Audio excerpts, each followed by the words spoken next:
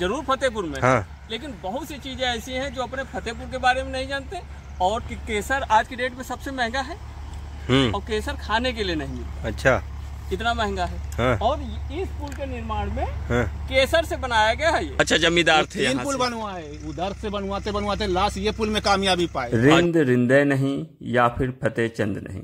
जी हाँ दोस्तों जहानाबाद कस्बे से तीन किलोमीटर दूर स्थित रिंद नदी का प्राचीन केसर पुल। अपने आप में कई रोचक कहानियों को संजोए हुए है। कोड़ा जहानाबाद में स्थित रिंद नदी के प्राचीन पुल का निर्माण आज से करीब 300 वर्ष पूर्व राजा फतेह चंद द्वारा करवाया गया था। कहा जाता है फतेह चंद जब नदी के पुल का निर्माण कार्य करवा रहे थे तो पानी के तेज वेग में कई बार पुल बह जा रहा था। इसके बाद राजा ने दृढ़ निश्चय किया कि रिंद रिंदे नहीं या फिर फतेह चंद नहीं, या तो रिंद ही रहेगी या फिर राजा फतेह चंद का नाम। जी हाँ दोस्तों, बताते हैं उसी दौरान एक विदेशी व्यापारी सौ ऊंटों को लेकर जहानाबाद आया और यहीं पास से गुजरते हुए राजा की हवेली में पहुंचकर केसर खरीदने का प्रस्ताव रखा। राजा ने इनकार कर दिया। व्यापारी ने प्रजा के समक्ष राजा का उपहास किया।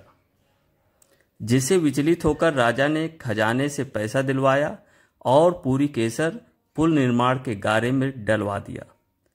तभी से इसे केसर पुल कहा जाता है। और आज हम आपको लेकर आए हैं इसी केसर पुल के पास। चाचा बताइए इस पुल के बारे में थोड़ा हमें।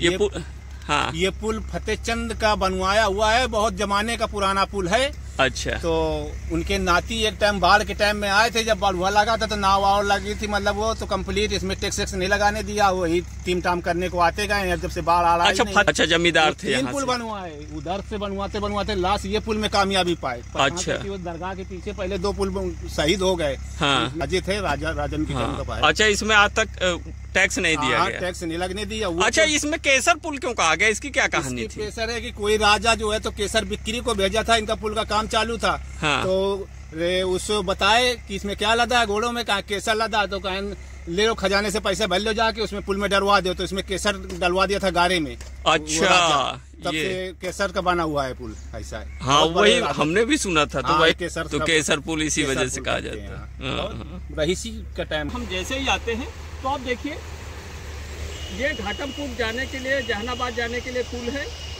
और उसी पुल के जस्ट सामने इधर है ये पुराना पुल। और इस पुल को केसर पुल कहा जाता है। महत्वपूर्ण बात ये कि कहा जाता है कि आज तक ये एक ऐसा मात्र पुल है जिसने आज तक कभी टैक्स नहीं दिया।